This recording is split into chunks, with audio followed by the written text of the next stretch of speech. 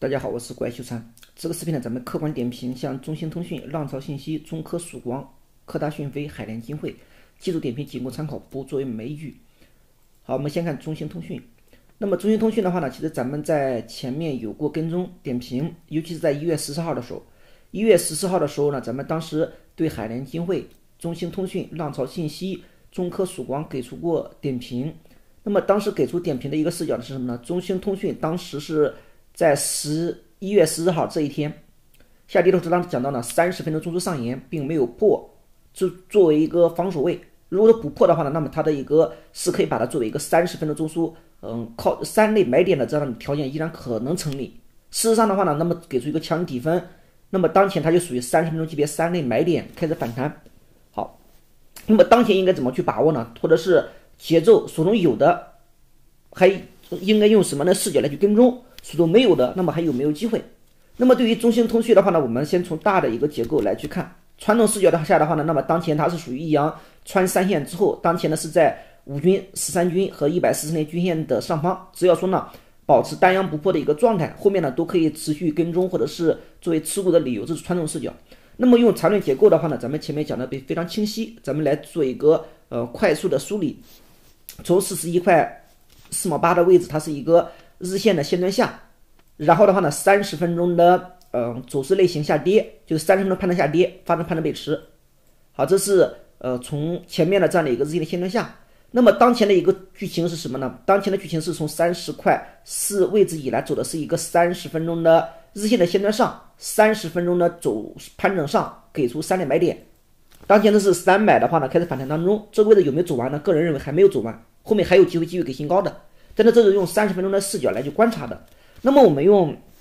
更小的一个呃细节，例如用三十分钟，用嗯五分钟的一个图形来去观察。用三十分钟的一个视角的话呢，那么当前在这个位置就讲到它向下没有跌破前面的三十二块，呃，三十二块八毛九这个位置，只要这个位置不破，那么它的三十分钟级别三的买点是可成立的。那么最低的话呢，它也没有跌破这个位置。当前的话是三十分钟级别三点买点这个位置。好，那么对应的话呢，我们再用五分钟的一个视角来去观察当前的一个跟踪节点，就是如果说短期的强弱应该考察什么？嗯，中期波段大波段的一个视角，考察什么？放在缠论视角下就属于级别。五分钟级别应该观察什么？三十分钟级别应该观察什么？好，这是一个五分钟的走势类型上，五分钟走势类型下，五分钟走势类型上，五分钟走势类型下，五分钟走势类型上，五分钟走势类型下。前面的话呢，这是一个三十分钟中枢。好，三十分钟中枢的话呢，那么对应的。中枢延长线这个位置回撤呢，没有破这个三十分钟中枢上沿，三十分钟级别三类买点。也就是说呢，这一只个股当前的一个做法处于什么阶段呢？三十分钟级别三类买点开启的反弹，这个反弹有没有结束呢？目前是还不能视为结束。当前呢，可以把它理解为可以在组建五分钟中枢，所以说呢，可以把前面这个低点的位置作为一个考察的节点。这个位置的话呢，主要是短短周期来讲，连前面这个小的低点都不破，是短期、中期都可以作为持股的理由来去看待的。好，如果说呢，这个位置后面走一个五分钟中枢之后，再走向上离开段。形成离开段的话呢，再对比他们自己有无背驰。如果说有背驰，五分钟盘整上，离开段和被金融段有背驰，那么是要找卖点的。找卖点过之后的话呢，再走一个三十分钟线段下，五分钟的走势类型下回撤，连前面这个位置都不破的话呢，那么它完全可以组建第二一个和它同级别同方向的中枢。然后的话呢，再期待三十分钟的嗯向上离开段，就那这是一种推演的一个视角。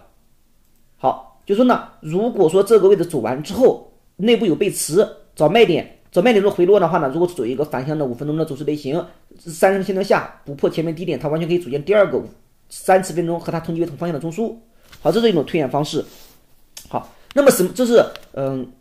因为也就是说呢，用三十分钟级别的话呢，那么等待一个嗯这个位置反弹结束，等待一个三十线段下不破前面这个低点，才是找它的找它的买点。没有的话呢，也是在这个位置找买点的。手中有的话呢，那么出现。哎，出现这样的一个五分钟走势类型上完成有背驰找卖点，这是手中有的；没有的话呢，等待这样的一个节点观察。但是如果说在这个节点去观察，或者作为买点来去应对的话呢，内部有背驰，让它构筑第二个中枢。那么如果说把前低，把下一个这个中枢的上沿的位置如果破了，那么就是要设置纠错的一个条件了。好，或者说呢，如果这个位置向上反弹和前面有背驰，三重趋势上涨趋势背驰，那么呢，对应的就是对应买点和卖点之间的对应的关系。好，那么我们再看更小的细节，看当下，当下这个位置的话呢，那么对应的前面这是五分钟的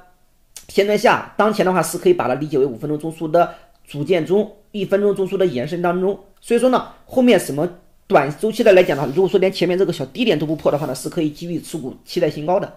好，这是对于中兴通讯。那么，哎，如果说这个位置破了呢，看它以什么方式。如果说只是以一比下的方式直接跌破，跌的呢比较的急，那么短线的话呢是可以先先去利润保护的，或者说呢，哎，下跌之后的反抽站不上来，对应的话呢是要，就是短线超短线的维度来讲是找卖点的。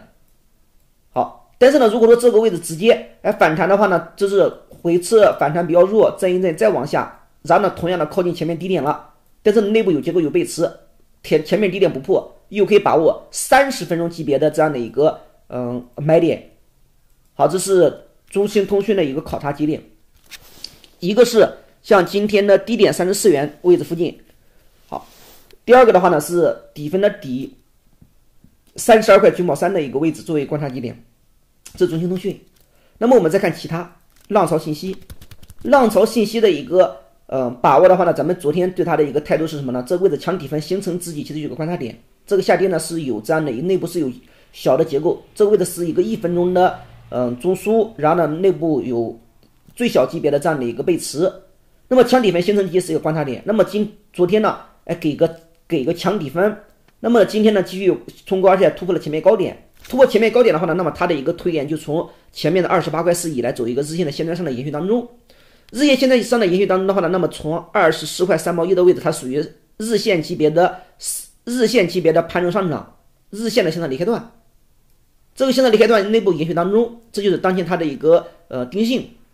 好，那么我们重点考察的话呢，就是这个日线的线段上何时会结束，以及呢，嗯，应对的话呢，还是以这个位置，哎，在它没有结束之前，都可以作为持股的理由来去呃应对。那么当前的话呢，其实它从更细节来去看到，从二十八块四前面呢是一个缓涨通道，这个位置呢是它走了一个小的扩散的一个结构，也可以把它作为三十分钟中枢，嗯，来去看待。来去看待的话呢，那么对应的像浪潮信息的一个表达来讲，作为一个日线也是属于线段上，三十分钟的话呢是三十分钟这样的一个嗯走势类型上的一个表达。那么既然如此的话呢，那么对待这只个股跟踪视角，那么如果说这个位置持续往上，因为这两天的话呢明显带量。今天的上影线留的不是特别好，不是特别好的话呢，那么短周期来讲，那么往上要适当的找什么找卖点。所以说呢，找卖点的方式是什么呢？如果是短线的一个视角来讲，那么中阳之后后面再冲高，如果说不能把这个上影线的位置给覆盖掉，短线的话呢，就可以先嗯先找卖点。为什么这个位置做一个做一个扩散结构？其实就它就符合上涨加盘整的一个视角。如果这个位置不能快速的把这个上影线的高点给突破掉，短线是可以。嗯，做利润保护的。但是如果说后面呢，哎，持续往下回落，靠近前面低点不破，靠近下沿又可以找新的这样的一个机会点，就是当前它的一个震荡区间是扩大的，震荡区间是扩大，但它的一个走势呢并没有走坏，这是短线的一个视角。如果说用波段的一个呃维度的话呢，那么既然是属于日线的线段上的一个表达，那么呢后面可以用最笨的方法，什么方法呢？一旦出现顶分破五均，就找它的风险点。一旦出现非常明显的顶分破五均，尤其是出现强顶分破五均的，那么呢就要找它的一个呃先卖再说。如果回落下来这个位置呢，当前它前面的其实它的一个节奏是什么呢？它的震荡区间，它的一个震荡区间是在嗯不断的扩大，前面是这样的一个缓涨的。好，这个位置的话呢，对应的它的一个震荡的区间是不断的不断的呃进行扩大的，这是浪潮信息，因为背后有业绩支撑。有意义支撑的话呢，那么这类个股的一个跟踪视角的话呢，如果说用看你操作级别，如果说是更呃，我们来用细节来去观察，例如说呢，用嗯日线它是属于日线的线段上的延续当中，前面是一笔下，那么这个位置底分强底分形成之后，看它向上能不能形成向上的一笔上，这是日线的维度。如果说一旦出现顶分强顶分破五均，就要防范。如果用五分钟的一个维度来进行观察的话呢，那么只需要用五分钟的一个。呃，从二三十二块七以来，用五分钟的线段来进行跟踪，五分钟走势类型，这为五分钟线段上，当前呢可以理解为在股主五分钟线段下。如果这个线段下的话呢，连高低点的从三十二到三十七块四这个位置呢半分位都不破，那么回落下来之后还是可以作为五分钟级别的二类买点去跟的。如果后面呢给一个五分钟中枢，再走向那离开段内部有背驰，又要找卖点了，让用这样的视角。好，这是浪潮信息，也就是说呢，那么对待这类个股的一个嗯观察节点，日开的维度来讲，观察留意的是防范的是强顶分出现。那么用五分钟视角的话呢，先以三十二块七毛四以来五分钟线段上、五分钟线段下会不会组建第一个五分钟中枢，然后呢去观察。好，那么我们再来看中科曙光。中科曙光的话呢，咱们在一月十四号这一天呢讲到，它反而是靠近机会点，一是单阳不破，二的话呢，它又属于收敛三角的嗯突破。好，这是对于中科曙光的一个态度。那么当前的话呢，它确确实实给出这样的一个三连阳，三连阳之后的话呢，那么对应的前面讲的一个节点，这个位置可以把它作为一个。呃，收敛的突破与回踩，而且是单阳不破。这个位置的话呢，又不破一百四十内均线，五均十三均，嗯，又出来这样的一个拐点处。所以说呢，在一月十四号的时候，当时讲到这个位置反而可以靠近理解为机会点来来去对对对应。那么三连阳之后当天的反弹怎么去看呢？它属于嗯，以前面低点作为一个观察点来讲，它属于日线一比上的延续。今天呢，这个长上影，尤其是昨天的中阳，今天的话呢，冲高长上影，短线的话呢，其实是可以找它的一个。呃，卖点的，但它有没有走坏呢？没有走坏。为什么找卖点呢？一个是嗯中阳之后再冲高，一个是靠近前高的一个节点。那么像这类个股，像中科曙光这类个股的话呢，那么对应的一个嗯应对的一个思路是什么呢？可以用均线的角度去跟就可以了，就偏离五均，短线找卖点，波段就是减持。如果说这个位置震荡当中，哎，修复对五均的偏离，或者说呢，哎靠近十三天均线，五就是偏离五均可减持，十三不破可低吸，用。均线口诀就跟就可以了，就是五均不破可持有，偏离五均可减持，十三不破可低吸，五均十三期上走，方向不改不换筹，用这个维度去跟。好，这是嗯中科曙光的一个态度。那么我们再来往下面去看，像科大讯飞和呃海联金汇。科大讯飞这个位置的话呢，对它的态度就属于这个位置反抽，嗯向上要防防范的是冲高回落，向上的话呢，观察一个重要的关键位，什么关键位呢？上方有一个三十分钟中枢平台，大的方向的话，它就在一百四十内均线下方，一百四十内均线下方这个位置反抽。如果说前面一，如果说连前面这个低点都不接触的话呢，是最弱的表达。如果说呢接触前面低点，但是不破前面这样的三十分钟中枢呃下沿的位置，它还是属于三十分钟级别三的卖点。所以说这个位置呢，要观察它的能否量价齐升的突破这个位置。如果不突破的话呢，它是还是属于三十分钟级别三的卖点，三的卖点一定要卖。卖了之后呢，再观察回落，回落它下来，或如果说哎不破前低，或者是呢哎带有量能能够起来了，然后呢日线 MACD 保持底背离的状态这当中回落下来，它反而可能还会有存在新的这样的机会点。但是呢大的方向还属于超跌反弹，没有形成趋势，在一百四十内均下方。好，这是对于科大讯飞它的一个观察维度的话呢，用三十分钟的一个视角来看，上方有一个三分钟枢，中枢的下沿在什么位置呢？在五十一块八。如果说呢向上不能和这个位置接触。那么对应的话呢，一定要找用三十分钟级别三连卖点的一个视角来定位。那么呢，一定要是冲高找卖点的。好，这是科大讯飞。那么以上的话呢，是作为技术的一个交流，不做买卖依据。之后呢，我们再来看像海联金汇。海联金汇的话呢，咱们在一月十四号的时候呢，当时是给出过两连板之后，给出两连板之后的话呢，这个位置咱当时讲到两连板之后再向上冲高。不能继续连板，实际上就是要找卖点的。如果说连板的话呢，它有这种连板的光环，它可能会晋级新的呃该板块的这样的一个风向标。如果不能连板的话呢，实际上就是找卖点的，找这样的一个冲高，不是去追，而是找卖点。找卖点过之后的话呢，那么当前我们来看啊，两个十字两个长上影，其实这个位置它已经呈现一个顶分型了。那么今天的回撤的话呢，但是有一定的量能的，呃，这个量能可以代表有一定的资金承接。所以说，对于海联金汇的一个。态度的话呢，认为未来还是会有机会反复的。这个反复的节点的话呢，就短短线视角，这个位置回撤，如果说连八元的位置都不破，那么可以把它理解为这个位置以来反弹当中，在构筑五分钟中枢的组件。就是如果说八元位置不破，它短线的话还是可能会存在新的低吸高抛的节点，用五分钟级别的一个视角来去跟，甚至不排除中枢组件之后再走向上离开段再给新高，这是一个视角。如果说向下呢破了八元的位置。